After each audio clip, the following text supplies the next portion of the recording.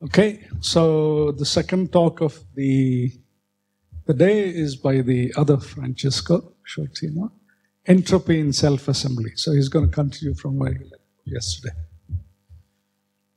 Okay, so let uh, me start by uh, remind you what we have uh, discussed yesterday. We discussed about the importance of uh, entropy in, uh, in soft matter in some sense and the fact that uh, entropy can control uh, ordering processes. We have seen examples in the sphere crystallizations, then in the nematic transition when it's uh, rotational entropy that start to matter. Then we have seen that uh, you can even uh, play with the entropy, with the rotational entropy, with the vibrational entropy to stabilize the liquid structures compared to crystal and generate liquids that never crystallize. And then we moved on and discussed uh, the, the, way entropy attracts. And in particular, we focused on the depletion interaction, showing how the presence of uh, small particles, which uh, cannot uh, get closer than a certain amount to a large colloidal particle, due just to simply entropy effect, produce a net attraction that uh, is so strong that can generate even phase separation crystallization phenomena and uh, this type of, uh, where you really need a, a, strong interaction compared to KT. Today we, we discuss, we start by discussing another uh, way in which entropy attracts, which I call a Safran entropy to Sam Safran who was the first to really notice uh, this uh, sort, sort, of entropy in, in, soft matter systems. And then I will discuss uh, other more recent effect of this combinatorial entropy in, in other colloidal particles. And then I will move a little bit uh, to basic concept in self-assembly, really trying to understand what you really uh, need to, to, to understand, to, tail, to design a reasonable self-assembly process. And again, I will stress, due to the topic of the school, the importance of entropy in this, uh, in this type of process. And then finally, I will, if I have time, I think so, I will uh, discuss two or three examples in which uh, entropy and enthalpy compete to create uh, unconventional phenomena. Let's put it this way. Okay, so it's time to start. Uh, let's, start discussing this uh, Safran entropy. And I do it again with a, with a cartoon. This is a system which was studied a lot in Montpellier some time ago. And this, uh, essentially, those are um, droplets, uh, oil droplets that you see around here yellow, and then uh, the, you add in the solution of this oil droplet some, uh, some telechelic polymers, some polymers which have a hydrophilic part, which is depicted in red, and two hydrophobic parts, which are depicted in blue.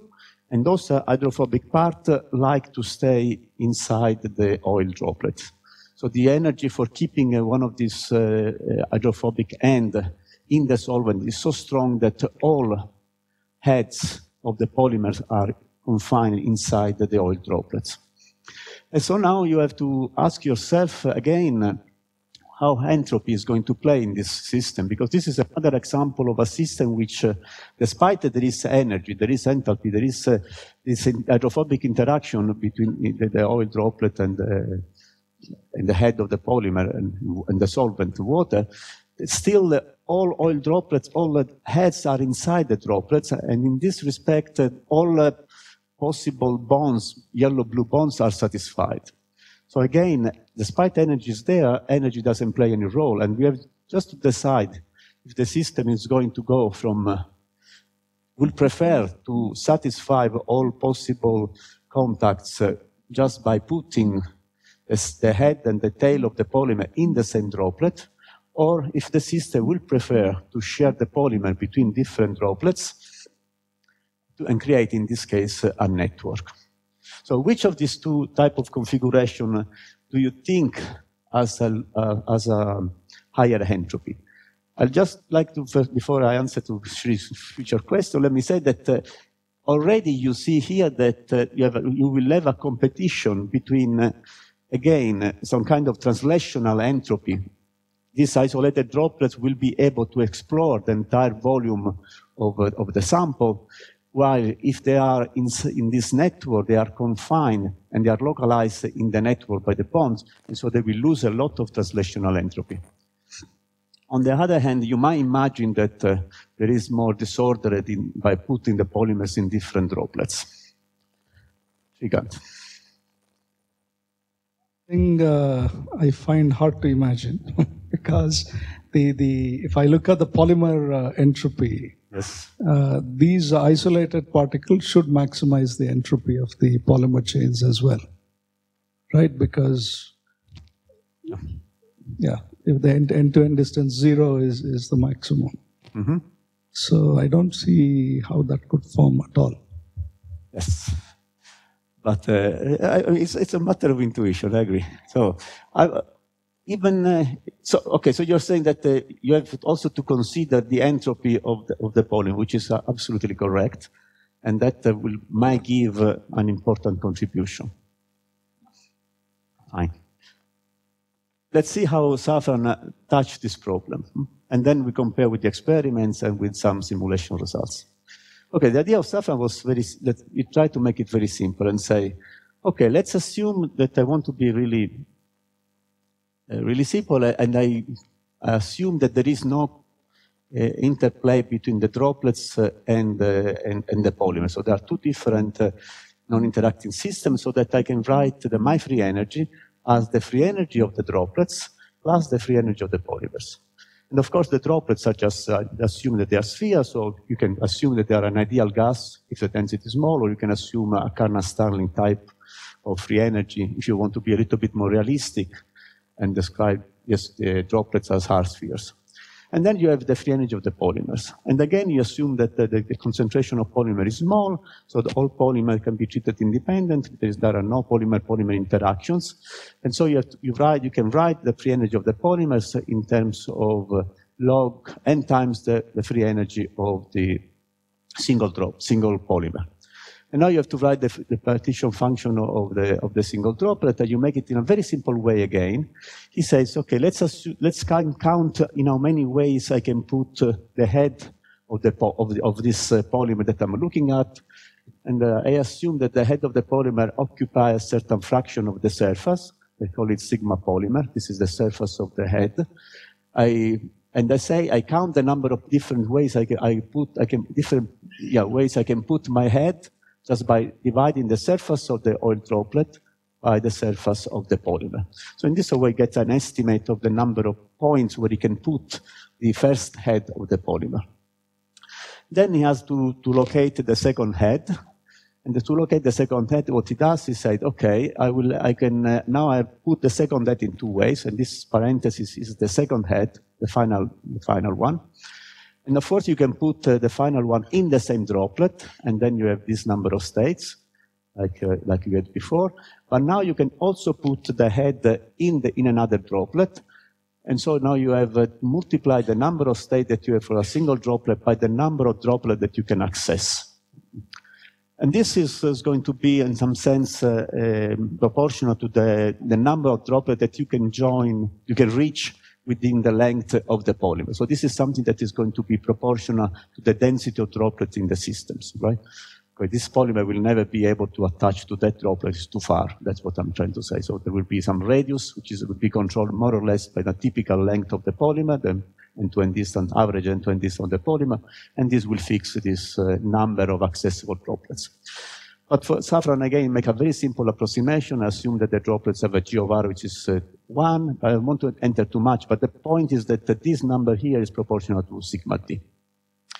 So in doing this, is neglecting this uh, entropy of the polymer that she was, was alluding in this type of calculation, saying that the polymer is going to use some configuration in which it maximizes own entropy in, in both type of uh, configuration, both in the single hand, in the single droplet and between different droplets. Okay, so now you have a free energy which is function of two parameters, the density of the droplets and the density uh, of the, and the number of polymers, the density of, uh, of telechelic polymers. So you have to calculate this, you can calculate the free energy, you can see, you can calculate the spinodal line, so the line where this free energy becomes, uh, uh, lose, the, the system loses stability. And of course, you have to take the second derivative. There will be, there will be three possible ways of losing stability due to the fluctuation density of the droplet, due to the density of the, of the polymer, or due to the mixed term. So you diagonalize this, this matrix here of second derivatives, and thus this will have two uh, eigenvalues. When one of these eigenvalues becomes zero, you are at the spinodal, at the spinodal point. So you can now plot the phase diagram for this, and what he gets is this type of phase diagram here. So this is a concentration of uh, uh, droplets, so many droplets you have in your system, and this is the number of polymer that you put per droplet. And he predicts that there is a phase separation, like you, you see here, this is the spinodal curve, which uh, connect points, uh, and uh, so all, those lines here are the so-called tie lines. So if, if, you prepare a system, let's say with this concentration, with this average number of droplets, will phase separate in a low concentration with a, with less number of polymers and a higher concentration with a larger number of polymers. So there will be fractioning of the polymers in the system. If you compare, uh, so in some sense, what is uh, this result? What this tells us is that indeed, if you prepare a system, you will phase separate in a in a in a, in, in a gas of droplets in which the polymer will be in the same droplet, but it will also separate. The other phase will be a network. So essentially, there will be competition between these two, these, these two structures here. There will be coexistence between these two structures here. If you are at very low concentrations, you will have the gas phase, isolated droplet. If you have a very high concentration, you always have the network. And in the middle, you have coexistence between the two. So again, entropy can help in producing a network of, uh, of, uh, of droplets. These uh, theoretical results have to be compared with the experimental results produced in Montpellier, which you have this, uh, again, this two-phase region was seen, the critical point was located there, and uh, so the system was separated in a gas uh, or droplets and in a network, a transient gel air.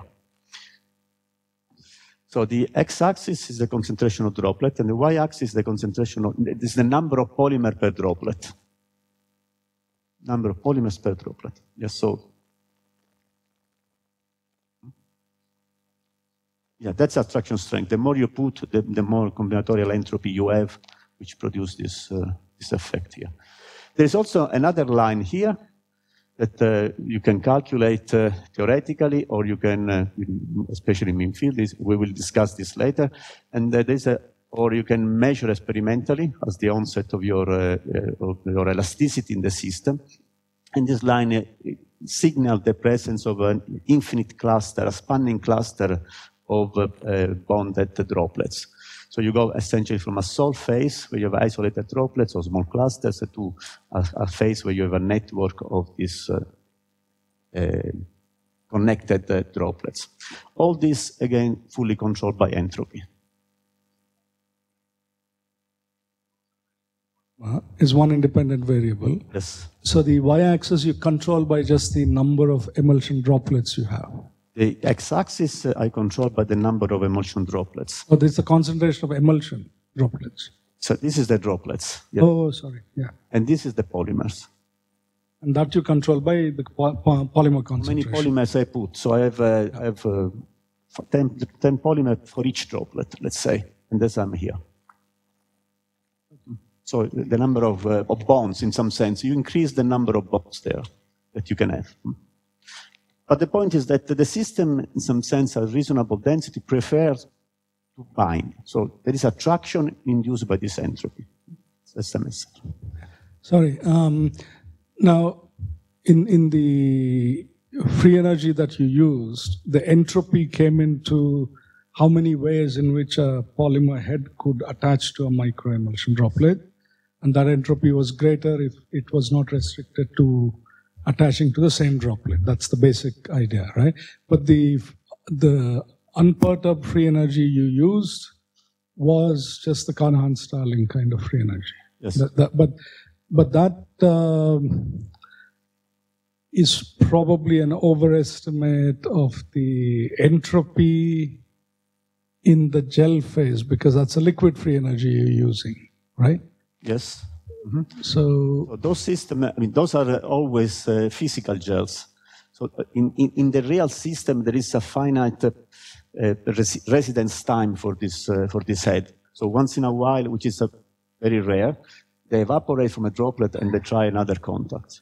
So there is an equilibrium that you can reach on the time scale that is longer than this residence time. So for a very short amount of time, uh, the oil droplet can be also in the solvent. The, the, head of the polymer can be in the solvent, but it's a small time compared to the time that it spends inside the, the droplet, and so you assume that energy doesn't play any role.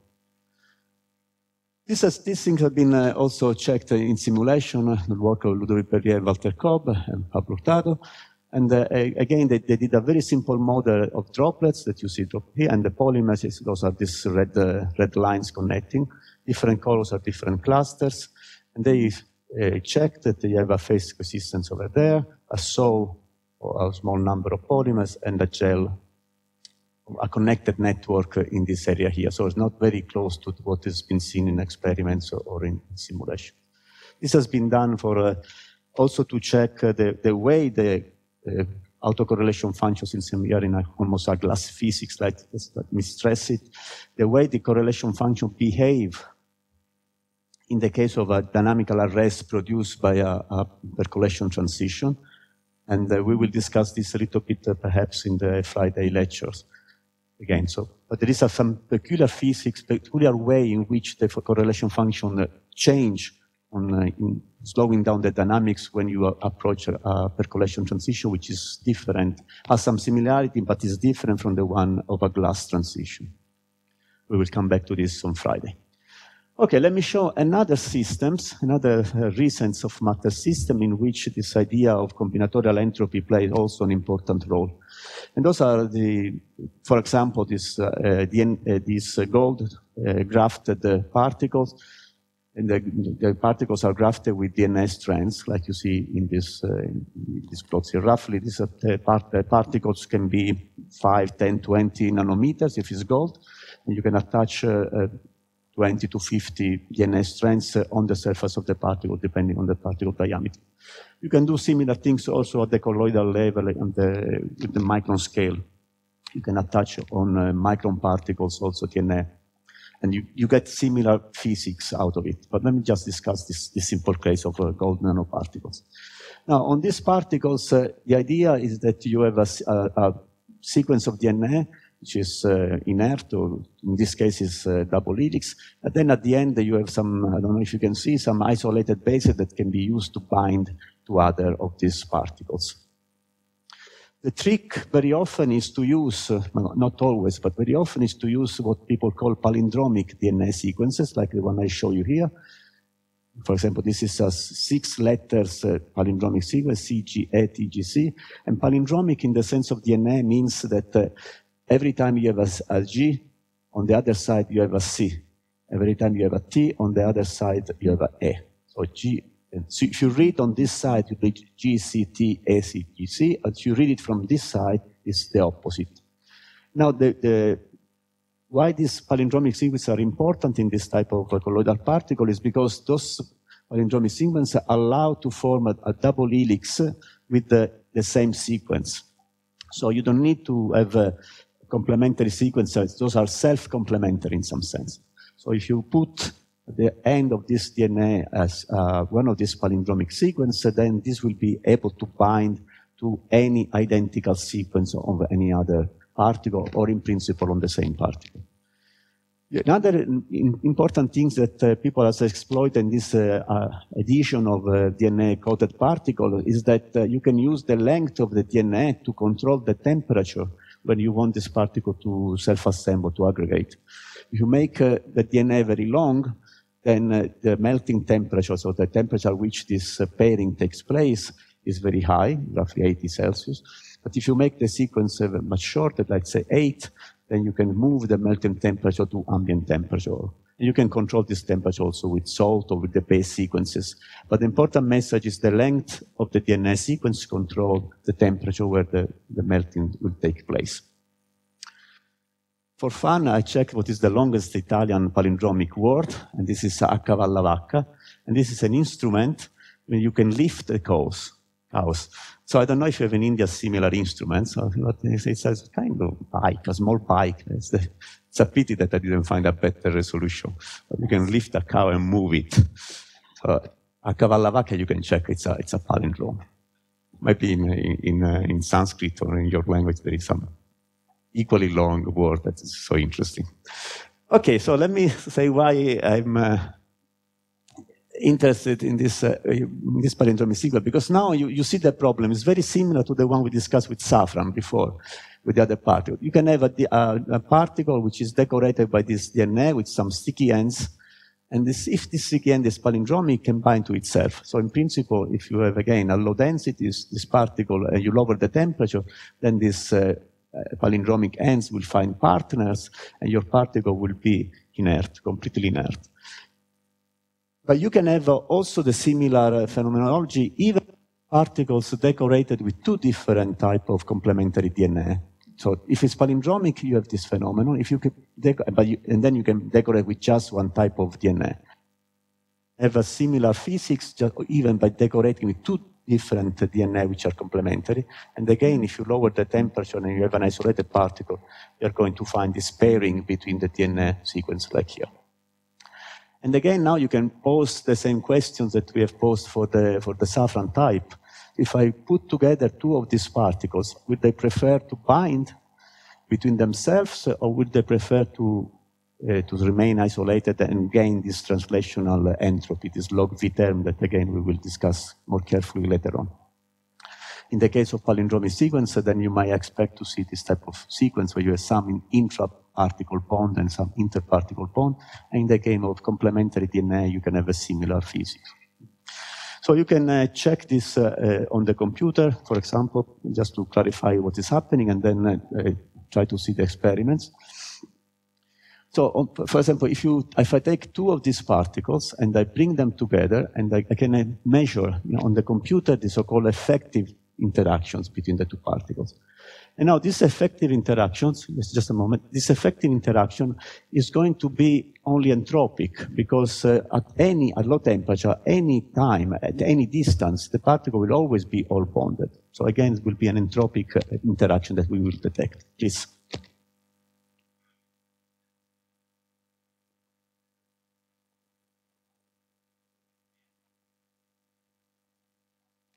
Okay, so the, the difference between, maybe I was not clear, the difference between these two systems is that in this case, the particle is decorated with palindromic sequences. In this case, it's decorated with the two different DNA sequences that can bind to each other.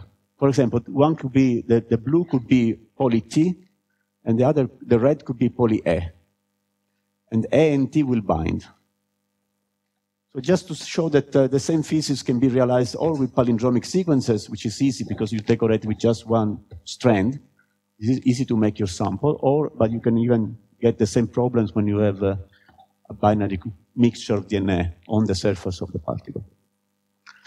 Okay, so we, let's see what happened first to the number of bonds. I, so I'm do the, I do the simulation at low temperature. I put together I move these two particles. There's some distance between the two particles that I'm plotting here. So the relative distance between the two particles. I move them together. And then uh, I see that there are, uh, and here I plot uh, the total number of bonds that I see in my system. There are 42 strands, so I get 42 bonds in the system at most. And you see that the number of bonds is always going to be the same. It doesn't change with the relative distance. And now you count the number of bonds between different particles. And you see that it goes start from zero and then it goes up to roughly 10 in this, uh, for this realization that I show you here. So now I would like to really quantify what is this entropy, that uh, gain that comes from the fact that now I'm making bonds between different particles compared to bonds between the same particle. And let's see how I, I have to do this combinatorial uh, exercise. I say, okay, let's assume that I have a certain number of bonds that can form. And uh, let's assume that uh, on, on, the particle A, and that's part, that this bond will form between themselves. So each, there will be a certain number, Na minus Na bonds, Na half bond that I can put here, right? And I count in a many different way I can put bonds between uh, Na uh, strands. And this is just uh, uh, Na minus one double factorial. At the same time, so if the particles are isolated, like here, and I count how many different configuration of bond I can form, then this is uh, the number of strands. In this case, Na is 8. My, uh, an 8 minus 1 is 7. Uh, no, 4 bonds, sorry. Uh, and then I get You have to do the, this double factorial and tells you how many different ways you can get. The other particle is isolated, and also this other particle has a certain number of bonds that can be formed. You count them how many you can, and so since they are isolated, you have the product. And this is the total number of, of possible bonded state that you can have in this case. But now you put the particle together, so now there will be, this particle can also bind to that particle. So now you have a much larger number of, of possible binding sites. You have an A plus and B minus one double factorial ways of doing it. And so now you can have, uh, to calculate the effective potential between the two particles, you need to know exactly the number of bonds that you can form. And then from there, you can uh, put this number in here and change, calculate the change of entropy. So this is the entropy, assuming that they are bonded and then you have to subtract uh, in, in a mixed way. And this is the chain entropy that you have uh, when, if they are bonded only intra, with intra bonds. And you see that there is this entropic term that comes out. Now you take this expression, you plot it, and that's uh, what you get, this, uh, this attractive potential that you see here. So you, it's, it's, it's, 10 kT. So you can, uh, with the 40 strands, you get already a combinatorial contribution of 40 kT which really binds very, very strongly the particle. Now, of course, uh, that effect, the total effective potential is the sum of the repulsion due to the grafting of the DNA on the surface, which is uh, this red line. So they have the red line, which is the repulsive grafting between uh, potential. You have the entropic attraction coming from combinatorial terms. You sum the two and you get the effective potential between the particle, which has a minimum of few kT that uh, brings the particle together. So this is a, a, nice way of controlling the strength of your uh, interaction potential because it doesn't really depend anymore from the length of the DNA that you use. It's just combinatorial. So if I just the number of bonds that I have, and I can I can make the bond uh, as strong as I want by grafting in a different way the surface of my particle. So again, another strong entropic attractive effect that you can modulate. And to my earlier question, um, I mean, the polymer entropy is still not appearing in all of these calculations, right? Yes, in some sense and here. Where, it's here.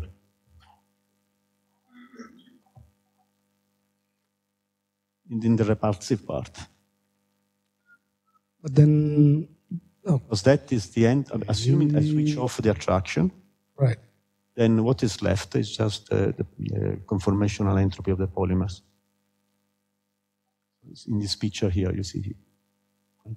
So I, I can switch off uh, this, this, four bases right. and ask what happened to the two particles when I, I move them close by. And that's just the, the number of ways you can put the polymers in space. Okay, I'll think, I'll think about it. Yeah. Yeah, all this is, uh, even, the, even the repulsive part is entropic in this case, yes. Okay, so let me go to the last example of this uh, combinatorial entropy, if you like to call it. This is work by the group of uh, Daan Frenkel a few years ago. And the question that they asked was, how can I design a particle, a nanoparticle that uh, stick to, in, a, in, an effective way to, uh, to a cell surface? Now the cell surface is decorated with receptors, and the particles is decorated with ligands, and so you want uh, the best, uh, uh, you want in principle uh, control the amount of particles that you uh, stick on the surface by changing the number of reception that, receptor that you have on the surface. So ideally, what you would like is something like this, this uh, ideal switch. So you increase uh, the number of, of receptor, and then at a certain point, you have a, complete absorption of the particle on the surface. This would be the, the best way to control, the most effective way to control the, the biological function. But if you if you make a simple nanoparticle with one ligand that binds to one receptor, what you get, you can control essentially the strength of this interaction here. And then you, you see, you do the calculation that uh, the number of particles that uh, goes on the surface is given by this sigmoidal curve, and we will derive this curve later on. And you see that this curve is uh, irrelevant, doesn't really change too much with the strength that you put. You can shift it by, by changing the strength, but the shape remains the same. There's a, just a shift. This curve is the same as this one, just shifted.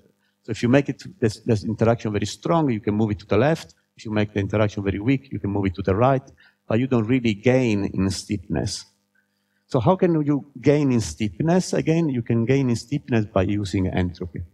So what you do essentially, or this was the idea that they proposed, was to take a nanoparticle and decorate it with many ligands, say k ligands per nanoparticles. And then say that uh, uh, on the surface you have a certain number of receptor per site that we call an R. So now your, your particle will bind with many different ways here. So let's see how can we calculate the partition function for this type of, uh, of binding here. So let's try to estimate this, the partition function associated to this bonded state. This unbonded state is just the log phi, so we don't really care too much. This, let's look at this bonded state. So what do you do? You have to estimate the number of way you can form a certain number of bonds if you have k ligands and a certain number of receptor. And so, of course, if you, if you let's first uh, uh, decide which of these uh, n, which uh, which fraction of this, uh, sorry, not, not which fraction, which of these k uh, ligands are going to be bonded. So that's the first thing. So I know that I have a, a, certain number of bonds. So this is the combinatorial term that tells you the number of ways you can put, you can create this number of bonds out of k ligands that you have. And now that you have selected the number of bonds, you have to touch decide where you put these bonds uh, on the surface. So each of these uh, squares we are going to saturate. And again, this is what happens.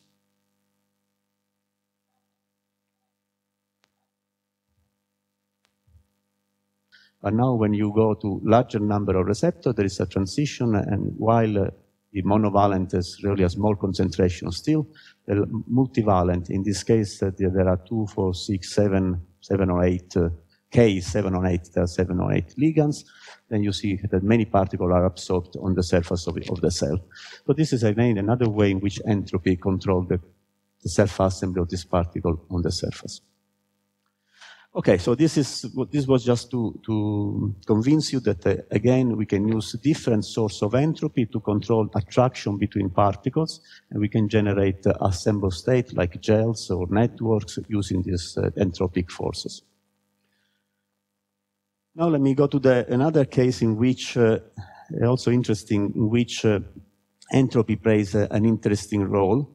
And this, uh, I like to, to, discuss this also for its connection to the glass physics of strong glass formers in some sense. And I like to call it as there is life uh, in the ground state, meaning this is a system which lives in the ground state, but there is still dynamics in the ground state. And that there is dynamic because entropy is, uh, is working for it. So this is a system which has been introduced in, uh, in Paris by Ludwik Leibler. And this is a plastic. It's a mixture of two different uh, polymers, a polymer with different functionality. So those are the polymers. I am not a chemist. I don't want to enter too much. But the, the, the concept is that uh, this, this uh, mixture of polymers are, is made by polymer, let's say in this plot with functionality 3, the color 1, and functionality 4, which are the black one. Hmm? And uh, he make a, a binary mixture of these two polymers in a non-stoichiometric ratio. This is a, a, key point. So if you have a stoichiometric ratio, then uh, you, you are able to satisfy all possible bonds in the system. And then there will be no free ends. All, all free ends here will be saturated if you would make a, the right ratio between uh, the two type of polymers. But if you make a non-stoichiometric uh, mixture of these two particles, then uh, even when you form all possible bonds, there will be some free ends. Like you see this, uh, you, have, you, have, put a majority of this uh, tetravalent particle, tetravalent polymer, and so there will be a lot of free ends in the system.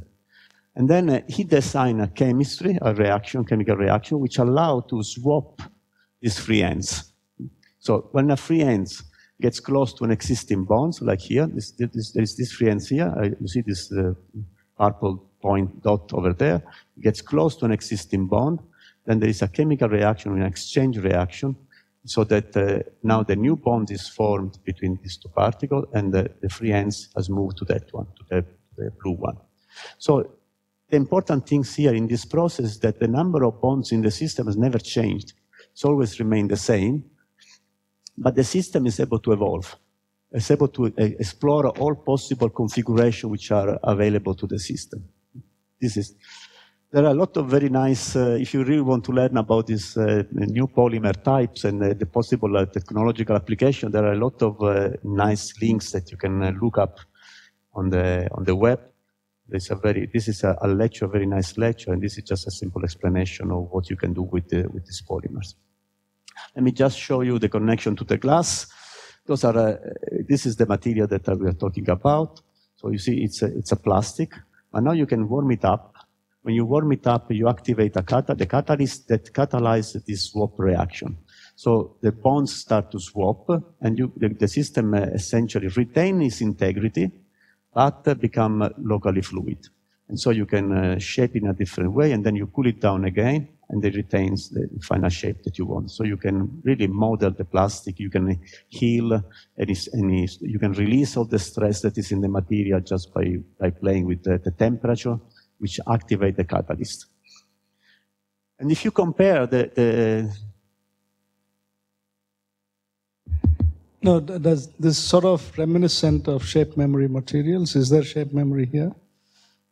No, this doesn't have any no, memory. No, no, no memory. This is the beauty. I mean, you by swapping the bonds, you completely lose any previous information. You go to the equilibrium. And the equilibrium means usually no stress in the system. Okay.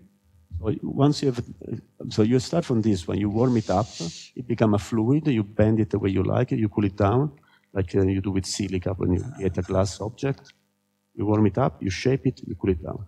Okay, so there is no reference state to go back. No, no, no. There is no reference state no. to go back. It, it's really an, an, equilibrium liquid. So, and now if you compare these materials here eh, with the silica, with other strong glass formers, it's even stronger. So it's better than silica in some sense, in terms of its uh, behavior. It's a network. It's not a surprise that it's a strong liquid. The thing that I was telling you before, you need a network structure to have a strong liquid. Okay, so let's uh, think about it. Uh, this is uh, the same as a system of particles with different uh, functionality, different variants. So you can, in principle, think of this as a patchy particle system particle with three patches, particle with four patches, you mix them together. Those particles uh, go to the ground state, so the minority particle get completely satisfied, all bonds formed, and then there are still some uh, bonds which you can use uh, to, to swap. And this means that you can evolve in the ground state, because the system reaches the ground state where all possible bonds are formed, but then there is still motion in the ground state. Let me show just a cartoon of this, uh, of what is happening. You, you, start with two different pieces of these materials. And again, I'm, I'm stressing there is no energy involved. Again, it's, everything is entropy. This, these two pieces of materials uh, uh, move in the box. Once in a while, they find each other, and then they start to form bonds.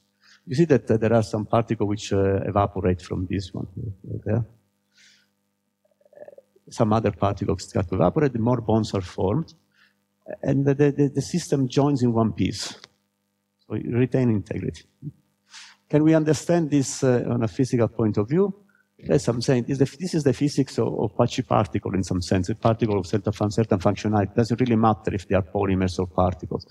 So you can think of this as, just a system of uh, particle. I mean, I don't draw all the patches here, but you can uh, just add a, a, swap mechanism that allow you to swap bonds between the particles. But uh, the, the, physics is the same. So let's look at the thermodynamics of this system. What do we, we get? We've learned a lot about the thermodynamic of patchy particle in, in the last uh, 10, 5 years. So we know how to deal with this patchy particle. So let's look quickly the free energy for this system. So in this case, I write it for a binary mixture of particle with uh, four patches, which are the purple one, and, part, and particle with two patches, which are the, the, the, green one, and the four can only bind to the two. So four patchy particle, two patchy particle, only four to two bonds, like here. So if I have a, stoichiometric ratio, like you have in this uh, graph over here, you see all bonds are satisfied. All particles have four bonds. The system is in the ground state, and there is no activity possible because all bonds are satisfied.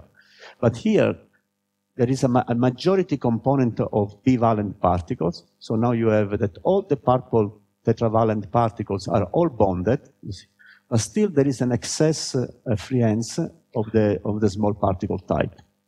And those particles, in principle, can, can swap if you have the proper uh, swap dynamics. But let's look at the thermodynamics first. So how can I describe the free energy of, of this type of system? Well, we know that for this patchy particle, there is this Wertheim theory that uh, works very well. And this, this uh, free energy essentially is the sum of three contributions.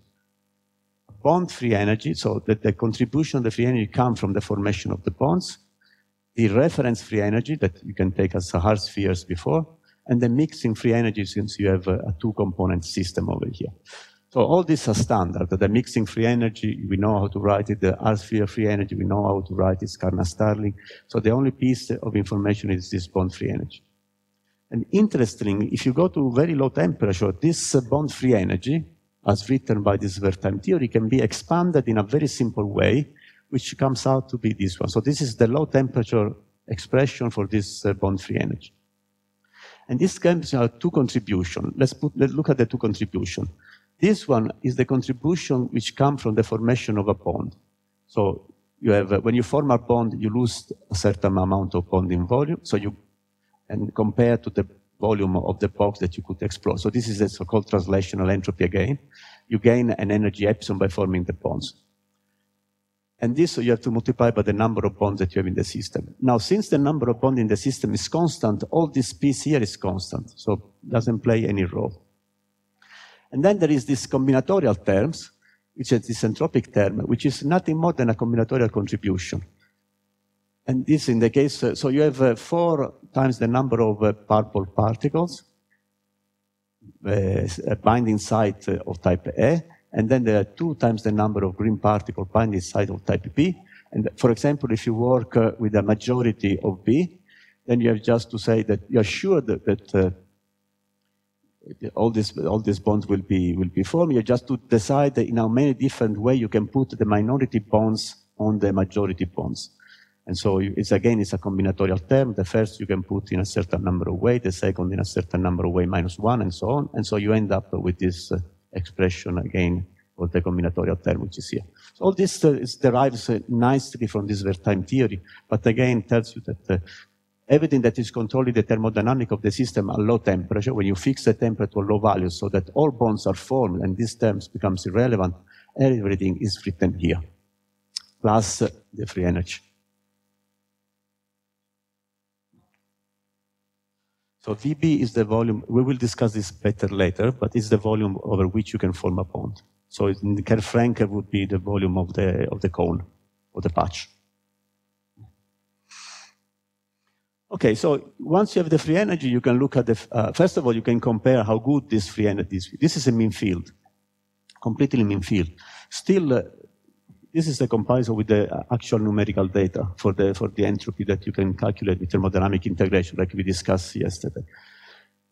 And there is a reason why mean field is working so nicely here. So those uh, patchy particles, uh, small valence, they are very nice mean field systems. That's uh, what we have learned. And the reason why they are very nice mean field system is because they, they, they have very small loops, closed loops.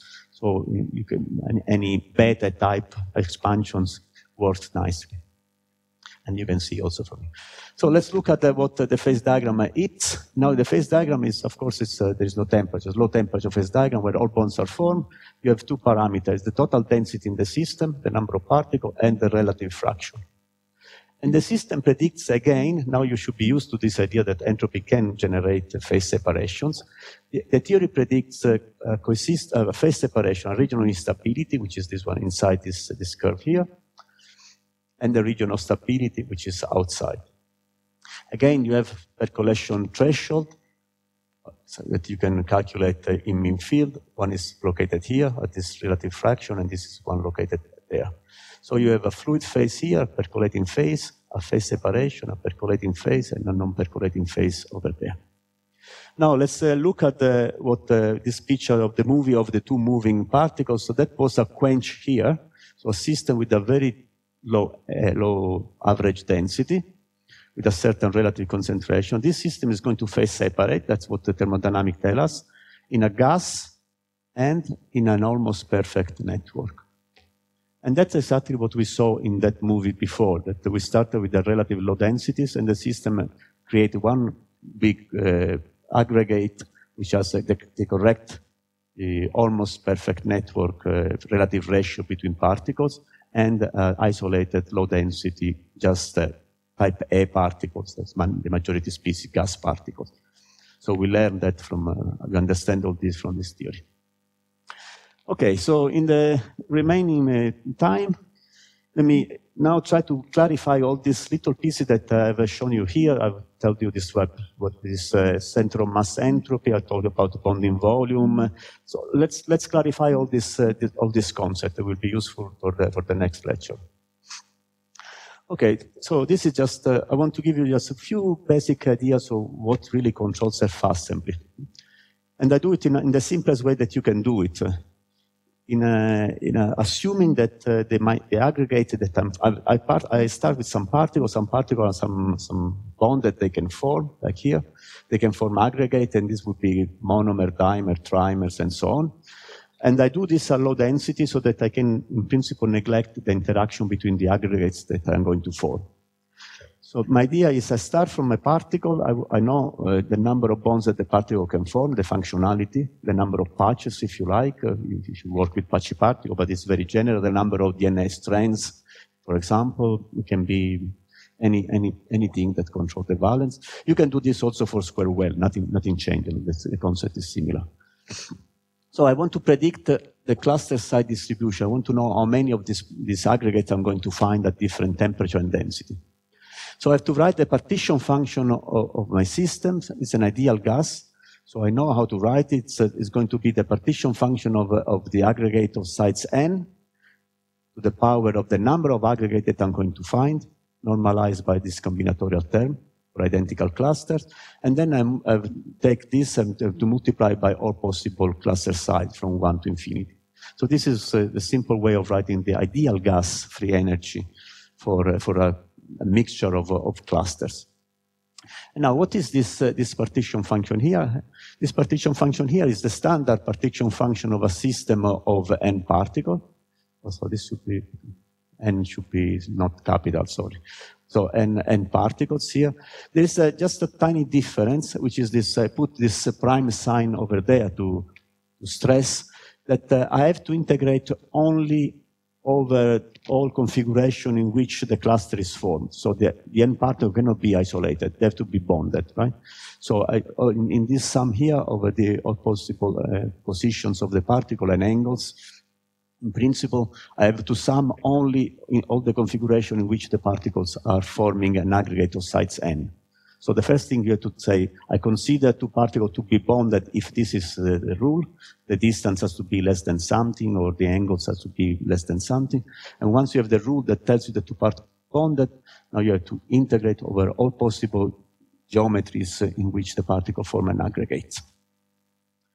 Okay, let's just make sure that we understand what I'm saying. Let's take a, a, a two particle, a dimer. Let's see how we should write this partition function. Now we can simplify it. We have to integrate over all possible orientation and positions of, of this time. And again, the particle has to be bonded.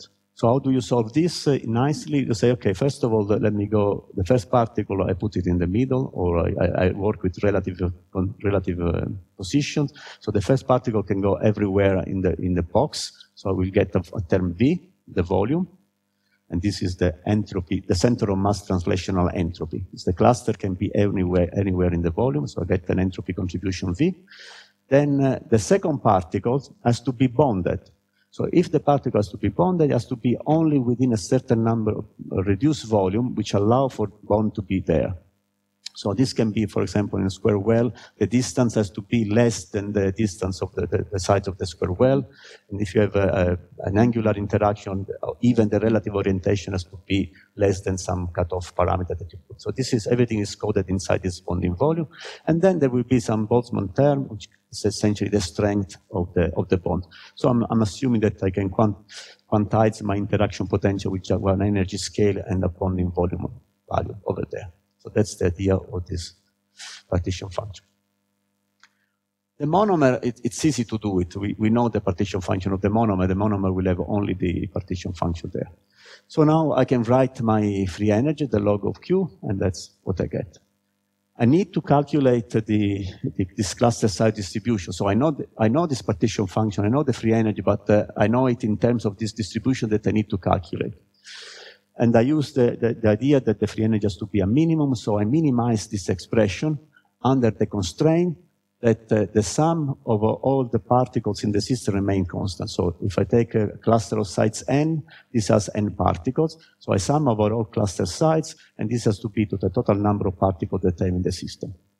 So I, I just to, to get this uh, nn, the thing that I look by minimizing the free energy under this constraint. So I have a, a Lagrange multiplier. If I do that, just a moment, and then uh, if I minimize, I get this expression this expression here, it's, uh, it's still in terms of this Lagrange parameter that you don't know, but uh, you can calculate this because you know that for in the case of monomers, it's going to be n rho q1 exponential of alpha. So you can recast everything in terms of concentration of monomer.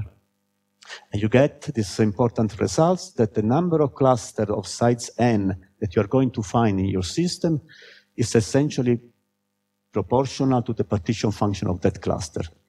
Modulus some uh, rho 1 to the n that uh, is essentially tells you what is the average density in the systems. So the, the important message is you want to, uh, an aggregate to be very persistent, and probably Sanat Kumar in his lecture on the, uh, on the macroemulsions said, discussed this issue also. You need to have a partition function which is very, very large, very intense compared to the other sizes. Uh, you didn't say it, but what you did was to go to the grand canonical uh, ensemble, right? Because that that the exponential alpha will be the fugacity. No, no, I didn't do that. I just say, no? just say I have my Lagrange multiply that allow me to enforce this constraint over there. That's all. Oh, but that's a total number of particles. Hmm? Huh? That's a change of ensemble. So, of course, then uh, this then becomes related to the if I can cast it in a different way, but uh, in principle I don't need it. Yeah, because you're getting you're getting all exponential alpha to be what? Is the monomer concentration, so it's here. Yeah, but that, that's the ideal gas. Uh, so the monomer is that activity, so you can think of that in terms of an expansion in activity, but that's, uh, I can I can try to be more simple by not to. Yeah. Yes, so this is the uh, all these clusters are in thermodynamic equilibrium. So the uh, you don't need to even make this. Uh, so this is just uh, rho one is the concentration of monomers. Now the concentration of monomer in the ideal gas coincides with the activity. So this is an expansion in the activity. And since uh, there is a thermal, thermodynamic equilibrium between the different clusters, uh, the activity, the chemical potential of the particles is the same in all clusters. So it's the same as the one of the monomer, and hence it's activity in all cases. I'm, uh, I, can, I, I, can cut in many places, so I'm happy. Yeah. No, I mean, I'm, I'm just wondering aloud, thinking aloud. Um, if you were to do Yes, aloud and loud. Um, now, if, if this is assuming that you have a gas of monomers, yes. right? No, a gas of clusters. And a gas of clusters, but in thermodynamic equilibrium. Right. But if, if you were sort of looking at some kind of condensation process in the liquid state, that part would change dramatically right? Uh, I've not put any cluster-cluster interaction here, so no, no, not any hmm. condensation. Okay. Okay, let me, this as, a, as an exercise, let's do it for a simple case, the simplest case that you can think. So you have um, two type of monomers, type A and type B, and uh, these two monomers can form a dimer. So you have uh, three possible clusters in the system, type A, type B, and dimer. And of course, uh, you have, uh, this time you have two constraints that you have to satisfy. The number of uh, cluster of type A plus the number of cluster of type AB has to be identical to the number of uh, monomer of type A that you put in the beginning. Hmm? And the same for, for the B, the number of B as the number of AP has to be the same as the, or the, or the number of B particles that you put in the beginning. And let's, for simplicity, assume that we start with a 50-50 mixture, so total number of particles divided by two in both cases. Now you write the partition functions, is the product of, uh, of the partition functions. You minimize the partition function, and now you have uh, two Lagrange multiplier, one for this constraint and one for that constraint. And you, you do a little bit of math, very simple math, and you get uh, what is the number of, uh, of cluster of type AB, this type, or cluster of this type, of this type that you have in the system.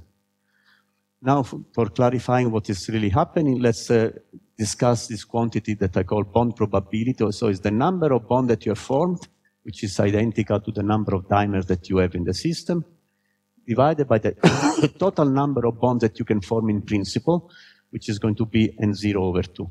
So this is the fraction of, of uh, particles which are bonded, essentially, the bond probability.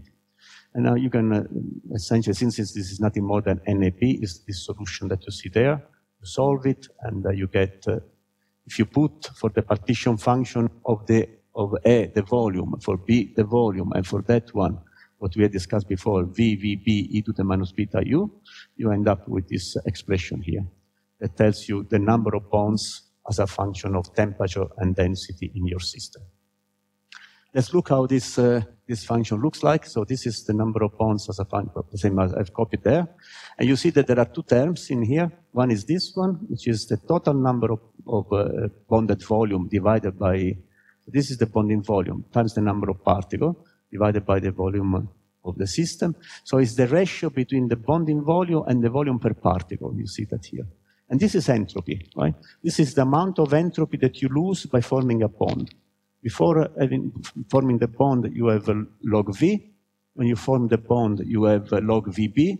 And so the ratio is V per particle divided by VB. And this is the Boltzmann factor. So you have entropy here, and then in this, in this contribution, I call it there, and then you have the energy scale. U0 is the energy scale of the bond. So how much, what is the strength of the bond? And so in unit of kT, you multiply by, by beta. So this is the energetic uh, attraction between the particle, and this is the number of microstates in which you can form a bond compared to the number of microstates you sample if you're not bonded, essentially. And this is the, how it looks like.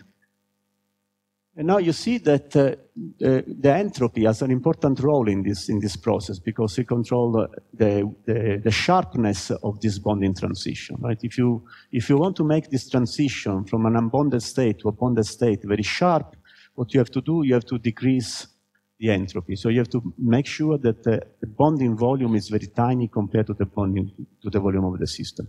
So you can, in designing your particle, you, you can play with the interaction range and with the angle of the cone in case of a patchy particle and control this quantity here and make the transition as, as sharp as you want.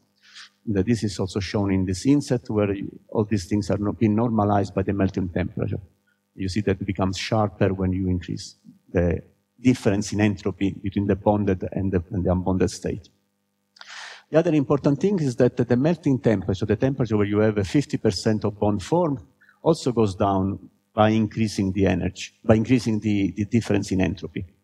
So more entropy means that uh, the self-assembly process will take place at much, much lower temperature. Right? So since this temperature at the end is the quantity that is going to control to the lifetime of the bonds, if you want to have persistent aggregates, you must form them at low temperature.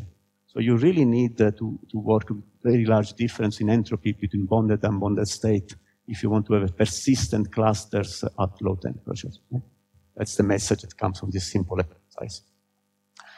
Okay, so let's uh, try to do it uh, in a few, few other cases. Uh, the case of equilibrium polymer. So those are now patchy particles with uh, functionality 2. So these particles can bind to another particle and form a chain.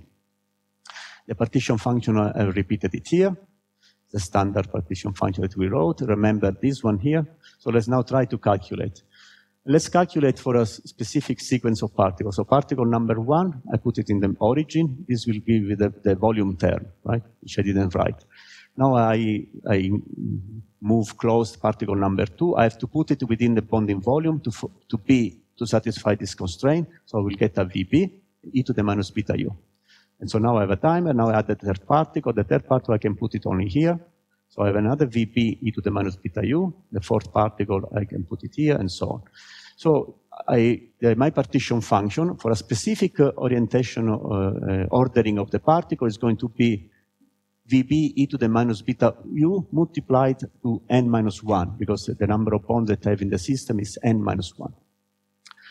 On top of that, I have also to, to consider that uh, this has been calculated for a specific uh, ordering of my particles. So now I have to permute all my particles, and I have to permute the particle both in particle label and in patch label.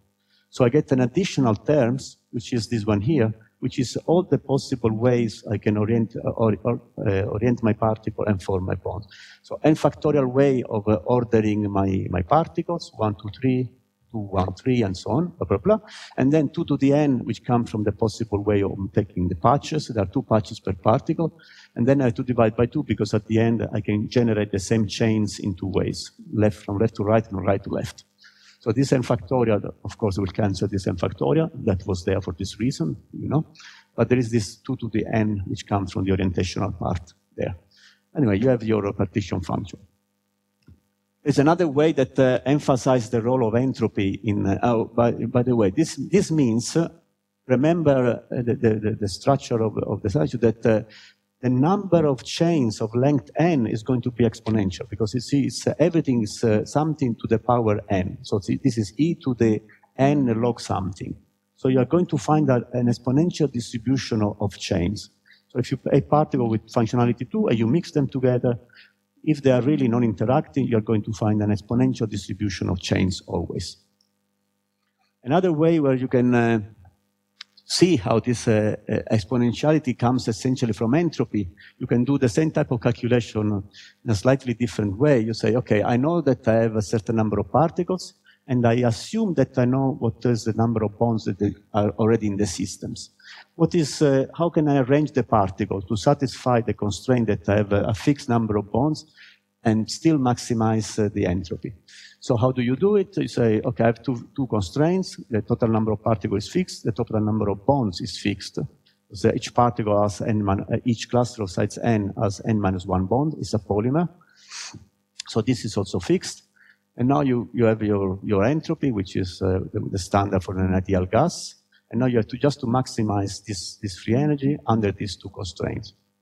You do that, blah, blah, blah. There is some math. You have this in, in, the, in the notes, or you can look at it again at, at the, at the movie on, on the web. And uh, what you get at the end, let me go fast, what you get at the end, okay, so this is the two Lagrange multiplier, you solve this, and blah, blah, blah, and you get this distribution here in terms of the fraction of the probability of having a bond. This is the exponential distribution that I was telling you before. So two different ways. Or you do the things exactly uh, with thermodynamics, or you do it uh, again by just maximizing the entropy, similar things. How does it look like? High temperature monomer, low temperature chains, the chains are distributed. This is the distribution of chains. Uh, and as you see, they are nice exponential distributions. Only when you go to, this is on increasing the density at a low temp, some low temperature. This is temperature in unit of the depth of the bond. And, and you see that uh, only a very high density, you start to see deviations from this exponential behavior the red and the green curve, which are due to the fact that now at a certain point the, the, polymers start to interact with each other. And so you start to lose this concept of, uh, of an ideal uh, gas of clusters. But uh, apart from that, I mean, the, agreement is pretty good. Okay, so let me now go to a little bit more uh, complicated case. When you have now particles which uh, functionality in general, functionality F, in this case, I have functionality B, and we have to do the same, same story. We need to know how many bonds there are at certain number, density and temperature. And uh, once, you know the number of bonds, we need the theory you calculate the cluster size distribution that we have to. And this is again just entropy. It's just a geometric property of the system. How many clusters can I get if I have a certain number of bonds in the system? Now this can be solved uh, analytically in mean field, again, what does it mean in mean field in this case? This means that uh, we neglect all clusters in which there are closed loop of bonds, like you have here. So all my cluster will have branching points, will be as, uh, as complicated as you like, but there will be no internal loops. Under this constraint, I can solve my problem. With that constraint, the problem becomes uh, unsolvable. There is only a scaling argument that tells you what uh, the real distribution are going to be. So let's try to solve the problem in this uh, mean field limit. Today is the mean field day, right? What is the cluster size distribution and how the particles self-assemble into cluster? And this was uh, solved a long time ago, by 43 by, by Stockmayer. All these things are coming back now with patchy physics, but they were already solved by, by polymer people. So we have again to find what is the most probable distribution with the two constraints that we fix the number of uh, particles and we fix the number of constraints, which is nothing more than fixing the total number of clusters in the system right? Because when you have assumed that uh, there are no loops, this means that every time you add a bond in your system, you decrease by one the number of clusters, right? You start with n particles. You add a bond, so you connect two particles, so you make a cluster. So you decrease by one the total number of clusters in the system. Another bond, another connection, another cluster that disappear. And so the number of bonds is nothing more than the number of clusters in the system. So what you have to do, we have to calculate uh, our partition function. This is the total number of, of, ways that you can have. We know this. This is the quantity that we need to calculate. In how many different ways we can arrange article which have functionality 3 in this case, or functionality f in general, and still uh, form uh, loopless uh, clusters. This is the quantity that we need to calculate. Then once uh, we, we, have that quantity, we again, we have the two constraints, we write our free energy, we minimize this two Lagrange multiplier A and B here, and you get the result. The result is this one, again, is similar to the one we have for dimers, but this is the quantity that we really need to calculate to, to solve this problem. So this will be the energetic part. This is going to be some number of bonds, but this is the entropic part. That's what we need to calculate now. Okay, so I do it just for two simple cases that I can do here on the blackboard. So let's say that we have dimers. How many different dimers we can form?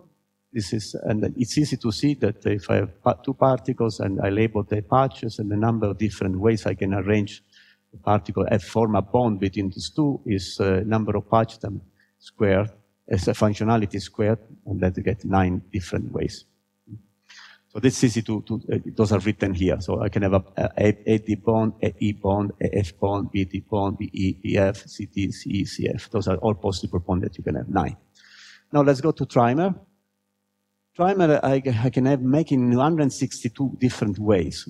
First of all, I can form three different trimers, one to two, one to dimers, one to two, one and two, one and three, and, and two and three. And each of them will be made in nine ways, right? Now I have to add the, the additional particle to each of them, and this additional particle, if it's a dimer, there will be four uh, available bond inside, and the incoming particle will have three available bond inside, so there will be four times three ways to mix the dimer with the trimer. And so now again, you divide by two to avoid overcounting, and that's what you get, the 162. I leave you as an exercise to do the calculation, which still is doable for uh, the case of uh, four particles. It's just a, a slight com complication, so I, I, show it here, but I try to forget. There's a, we have to be careful because you have to separate configuration which are linear when you do this calculation and configuration which are star-like. Those are different topology in the system. But uh, so you, you sum the one linear as, as to be 3888, the one with, uh, with the branch as 648.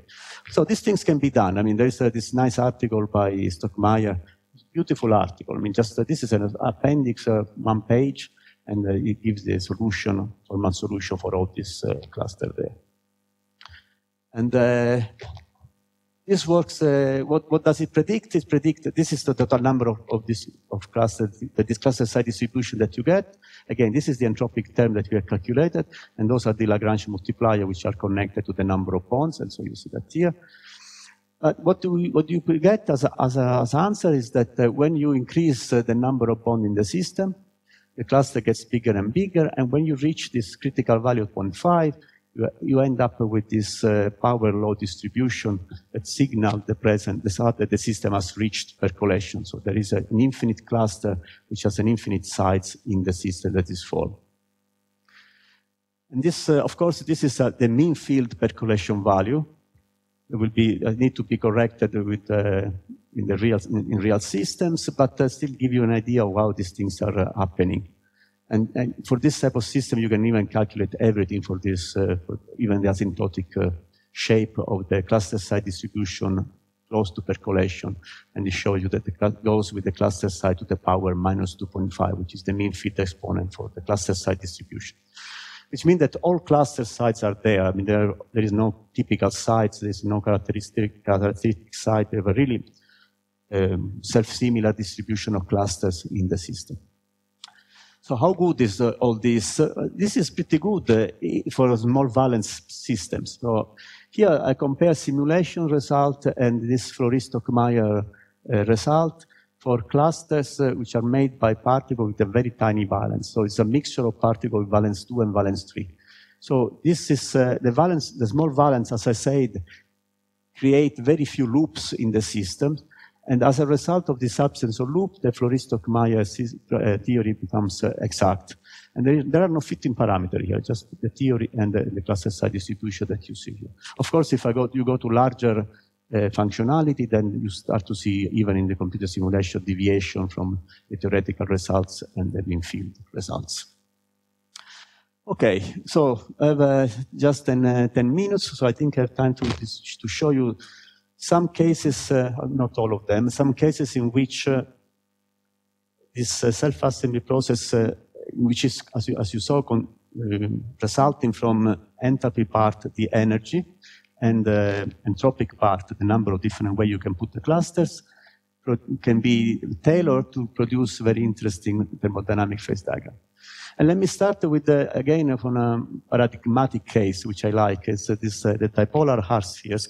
So those are colloids, colloidal particles, which have a dipole uh, in the middle. So it's an hard sphere with a dipole. This is in the interaction potential that you all know. There was a simulation by Camp and colleagues in 2000. And, and, you see what happens when the temperatures start to be low, the systems start to form very long chains uh, in which the dipole of the particle align and then there are some branching points. So this is uh, this, uh, this uh, simulations here generated uh, a theory from again the same Safran that we were discussing before. Of course, he, he knew about entropy a lot, so it was a good uh, a case to, to look at. And uh, he, he, he argued in this way. Said, in some sense, a low temperature all possible part, the particle will all be essentially in this uh, chain-like configuration. But of course, uh, this, there will be some defects in this, uh, in this. The system will not be uh, the ground state. The, the, ground state will be just one infinite long chain. there will be some defect. And there are two possible defects. Chain ends, so this particle is not bonded. This is two chain ends, two defects that I have here. Or they can be branching points. In some points, uh, a chain ends uh, touch uh, um, a chain and bind. And of course, the binding will be with the energy which is higher than the, the, the, one that you have in the linear configuration. In this sense, it's a defect. So cost would be better to have an independent chain than, than a diamond. So, say, can I, uh, again, I can think of this as, a, again, a, an entropic phenomenon because uh, what is going to stabilize the formation of a low temperature, I know that I'm going to find chains. At intermediate temperature, if uh, the entropy associated to the formation of this branching point, and you see that this branching point you can form in many ways. You can put the branching point in many different points on the incoming chain. If entropy is sufficiently large, then perhaps uh, I can, uh, despite there is an energetic cost, I can stabilize a network phase, which would be this, this type of structure that you there. So how can I write a free energy to describe this? Then it gets the idea say, let's uh, assume that I call phi the, the, density of ends. Now, of course, uh, uh, if you, you, need two ends to form a chain, so the density of chains will be proportional to phi square, and you need three ends to form a branching point, so you have a, a, a, a density of branching Excuse point me. proportional to this phi to the cube.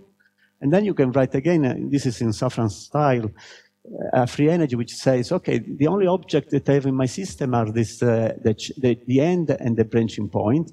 And so, sure enough, each of them will have a, a, free energy contribution of the order of kT. So I write my free energy as the number of essentially of defects that I have in my system, which are the only relevant elements, times kT. And I add put a little bit of virial repulsions in terms of uh, total density in the system. So this is the, the excluded volume interaction between the particles, and that's the, the physics of this uh, branching and ends. So you do that, you calculate, uh, you take the derivative, you calculate the equation of states, that's uh, what comes out. You put a reasonable parameter for uh, the bonding volume of the, of the defect of the branching, the bonding volume uh, and, and, the energy of the branching, and you put a cost for the, for the end. You put all these things together and you get this nice phase diagram here that, uh, that you see here.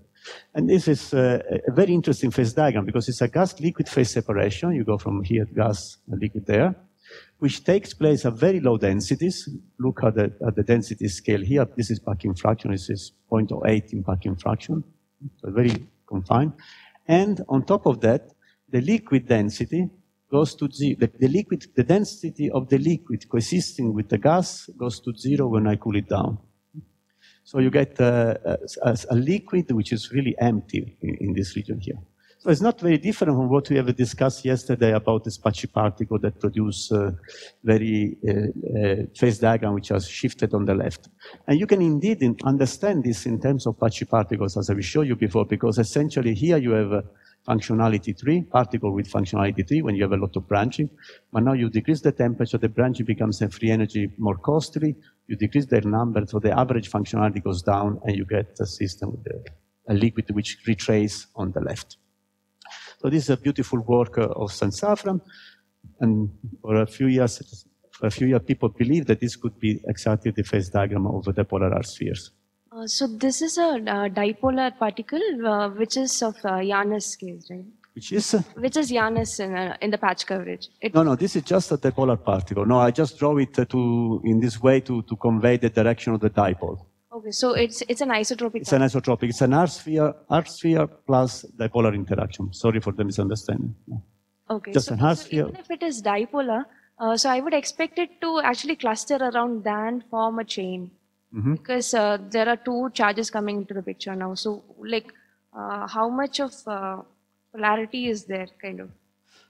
To, to see this, uh, this uh, chaining phenomenon that you see in the simulation or here in my drawing, you need to go to low temperature because you need to make this interaction dominant.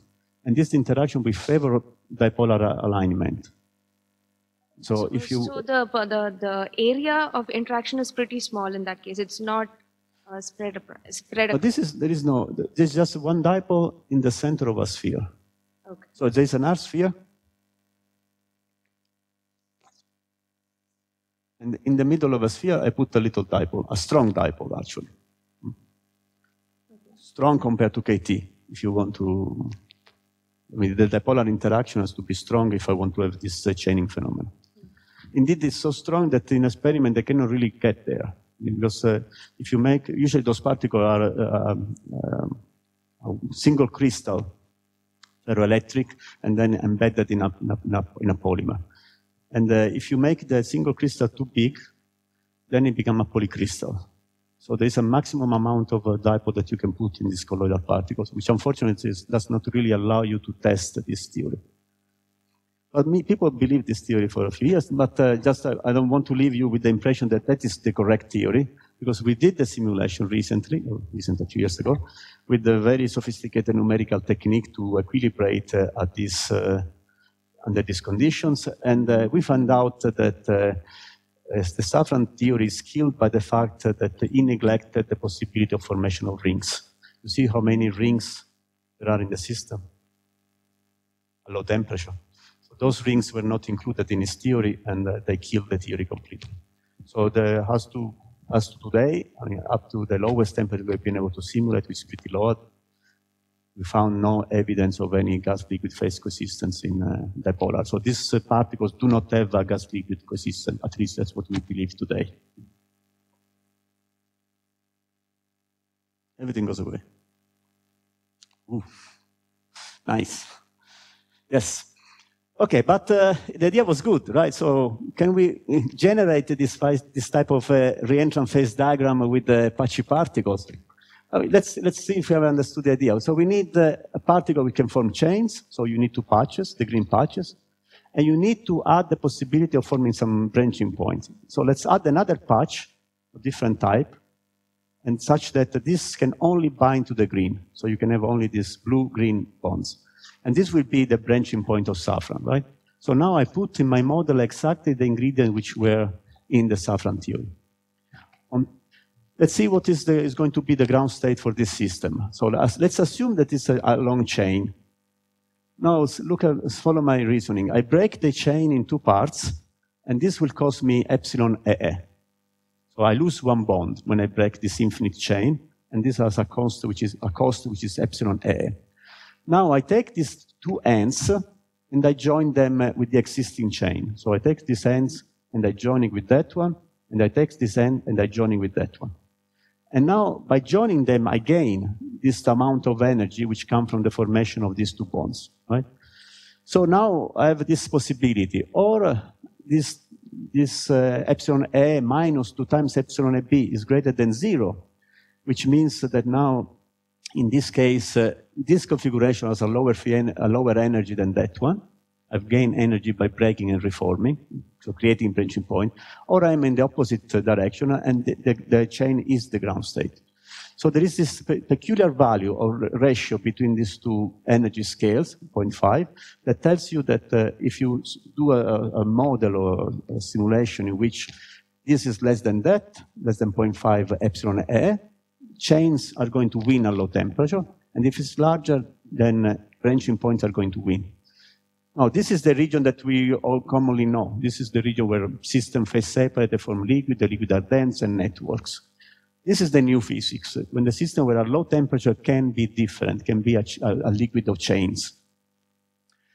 Okay, so you do the simulation for this, for this model. And of course, uh, uh and uh, if you pick a sufficiently large bonding volume, this is very important. Again, you saw that in the thermodynamics, uh, uh, the, the, importance of the bonding volumes in, in the formation of, of, the temperature at which you form bonds. If this is not very large, then the, the bond, the blue-green bonds, even if they are energetically stable, they will not form to entropic reason. You saw that when this was, bonding volume was small, then the bonds don't form unless you go to very low temperature. So if you want that uh, on increasing, at a certain point, these bonds start to form, and to, so, to overcome the probability of forming chains always at all temperatures, then you need to make this very large. So you need a very large bonding volume. But if you put that one, then immediately you see those are the simulations, results that you get. And that this is the theoretical prediction based on this Wertheim theory that I discussed you before. In this case, it's the full Wertheim theory. So we have uh, a possibility of designing interaction which create this uh, strange uh, phase diagram. Does Wertheim theories doesn't have? Doesn't have loops.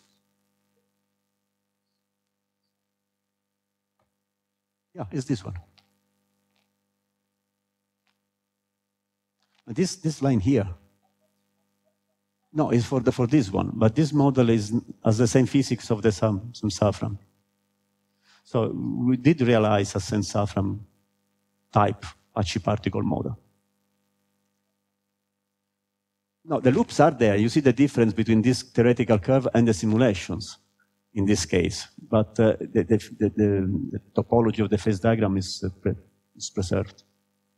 Okay, so I can conclude with this, with this slide. I have 16 seconds. You can uh, play with a different, uh, with a different relative strength. You see that uh, if you make the, and, and you get that always, this is the theory, those are the simulations, so always the same type of shape you see that you also kill you you kill the the Safran type transition if uh, the the bonds becomes too weak, and so even from an energetic point of view, you, you don't create enough branching in the system, and then you have always chain or all temperatures.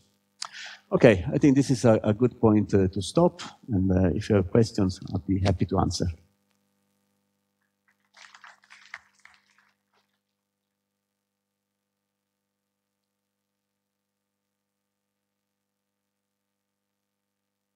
And we can go to it.